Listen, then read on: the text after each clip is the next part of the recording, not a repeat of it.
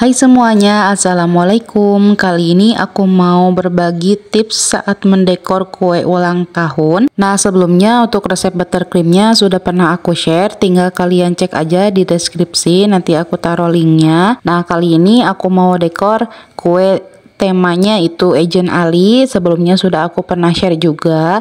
Tapi di sini aku sambil mau cerita sambil mau share tips saat mendekor kue ulang tahun. Untuk pewarna yang biasa aku gunakan di sini ada pewarna kupu-kupu dan juga hakiki. Walaupun ini kecil tapi dia tuh mantul banget. Cuma sedikit aja tapi warnanya itu udah bagus. Nah ini ukuran cake nya itu 20 cm base black forest. Tipsnya saat kita mau mendekor kue kayak gini kalau mau cepat mau mulus atau enggak berpori itu kita tim dulu buttercreamnya supaya dia agak lemas alias agak meleleh dikit tapi jangan sampai mencair ya teman-teman. Jadi caranya biasanya itu aku siapkan air mendidih kemudian dimasukkan ke gelas lalu kita masukkan si piping bag yang udah berisi buttercream ke dalam air panas itu sambil kita kocok-kocok sekali pokoknya jangan sampai dia berubah jadi berminyak intinya itu.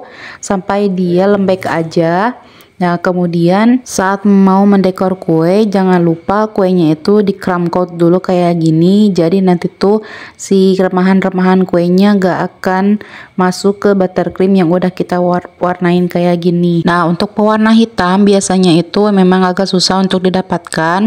Kalau pewarna hitam biasanya aku bikin dari Hamin satu karena dia mesti keluar masuk kulkas, makanya aku bikinnya dari jauh-jauh jauh hari juga boleh merek-merek yang biasanya aku pakai selain pewarna kupu-kupu dan hakiki biasanya yang paling cepat mendapatkan pewarna hitam itu adalah merek Raja Wali tapi di sini aku nggak punya stoknya stoknya itu habis. Nah kemudian sering ada yang tanya nih di sini katanya saya selalu mendekor pasti deket kompor kayak gini. Iya ini fungsinya kayak gini kalau buttercreamnya itu nggak sempat dileleh dilepehin atau ditim dulu biasanya aku manasin pisaunya ke kompor lalu kita lap terlebih dahulu. Nah kemudian kalau pada saat kita memuluskan cake-nya kayak gini tuh lebih cepat mulus gak berpori juga. Dan pada intinya sering-seringlah latihan aja nanti tangan kita juga seiring waktu akan